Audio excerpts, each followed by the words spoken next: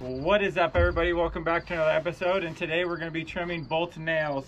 And the reason why I know I need to trim Bolt's and nails is because the clanking on the floor. I can hear it clicking so I know that it's time to trim his nails. So I actually let it go a little bit long this time so that I could show you guys how I do it. We got him up here. Get him over here. I like to get him up on a high table. Uh, you can also lay him down on the ground. Um, I don't know if I'll show you a couple different ways or not. When I first got him and he was a little puppy, this is how I do it. But now I just kind of get him up on a high spot. It's a lot easier for me, but you can take, if you have a new puppy, you just kind of, oh, he's got a big to do. But you kind of just take your puppy and you put him down like this you can either put him back here if he's worried or trying to bite your hands or whatever you're doing with his nails. And then uh, you can go ahead and get to everything you need here and just clip it here and clip it here. Now I just put him up somewhere high where I don't have to do this anymore. But come here, Bolt. Come on. Come here, buddy. Come here. Playing with the bone right now.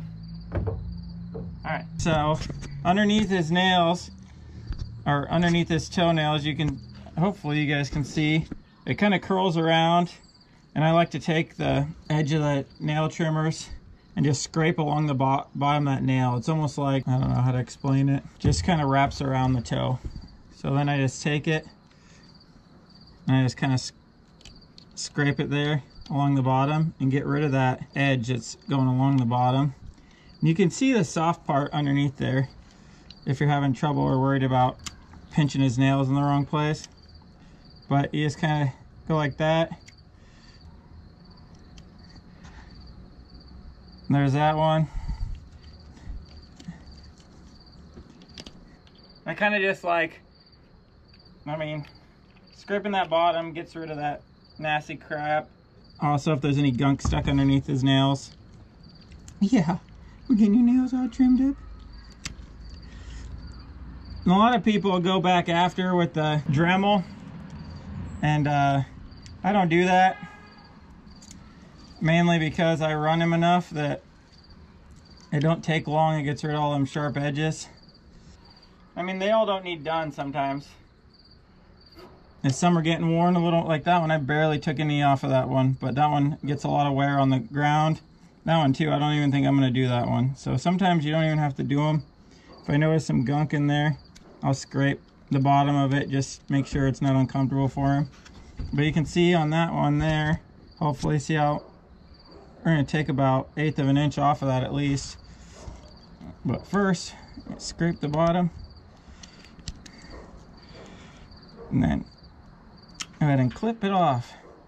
So you can see that little bit it took off, that's a majority of it. And then I kind of just work my way around. Get the real sharp edges, but that's what it looks like when I'm done. It'll wear that smooth. But see, this is kind of, hopefully you guys can see that, but that kind of just stuff on the bottom I like to get rid of while I'm doing this.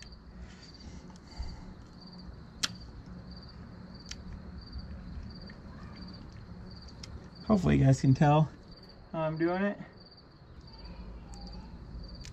Kind of get most of the sharp edges off scrape the bottom of that. Oh yeah, I see. This one ain't even gonna need done. Pretty much just the, the front two. Right here where it ain't really getting no drag. See if the back ones need done. Come here, buddy, come here. Kind of look at them. Honestly, don't even look like this one might need done. Just a scrape on the bottom. Oh, it's all right, it's all right. There we go, get all that crap off the bottom. There we go, what about the other side? Huh? Huh, the other side? Yeah, you can kind of see.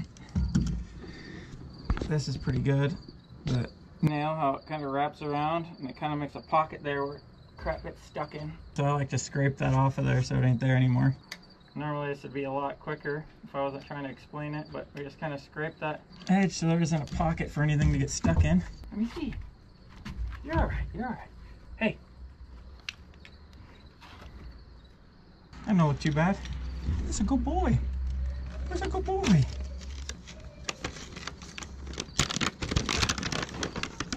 Right here. Huh? Good boy. He's a good boy. All right, and that's all there is to it. To trimming his nails, he's all done and ready to go. Thanks everyone for watching.